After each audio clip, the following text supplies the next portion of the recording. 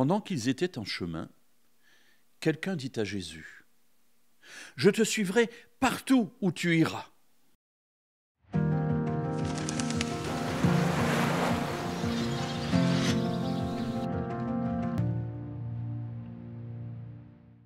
Ah, mes amis, suivre Jésus partout où il va. Alors oui, c'est un souhait, c'est un désir, c'est une volonté, c'est un grand bonheur. Mais où Jésus va-t-il aller Et où Jésus va-t-il m'amener? La question est intéressante parce que juste après ce passage, à partir des versets 58 et suivants, Jésus va répondre à la personne qui lui a dit je te suivrai partout où tu iras. Jésus dit, mais les renards ont des tanières, mais moi je ne sais pas, euh, on ne sait pas où est le Fils de l'homme. Et effectivement, euh, le chemin de Jésus va être un chemin difficile à suivre. Combien de personnes l'ont quitté Les évangiles nous parlent de ces disciples qui l'ont été pendant un temps et qui, face au défi, ont plié bagages et sont rentrés chez eux. Alors j'ai ma prière, le cri du cœur, Seigneur, je te suivrai partout où tu iras. Je me souviens de chants aussi que l'on chante dans nos églises, où l'on dit Prends tout Seigneur.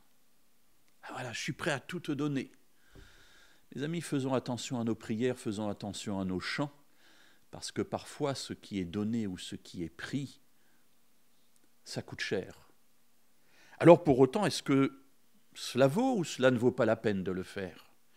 Est-ce que ce cri peut-il être poussé aussi par moi, bien que je sache que parfois le prix à payer sera élevé?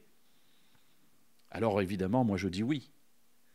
Je dis oui parce que j'ai la chance d'avoir quand même quelques dizaines d'années de vie avec Dieu, et même si le chemin a été difficile, parce que je ne peux pas dire qu'il a été facile, mais je ne voudrais pas faire autrement si j'avais la possibilité de recommencer. Alors oui, suivre Jésus partout où il va n'est pas toujours simple, mais là où va Jésus, c'est auprès du Père. Mais moi j'ai envie d'être près du Père. J'ai envie de cette vie éternelle. J'ai envie de vivre, de retrouver les personnes que j'ai aimées, de vivre cette vie sans malheur, sans pleurs, sans guerre, sans famine.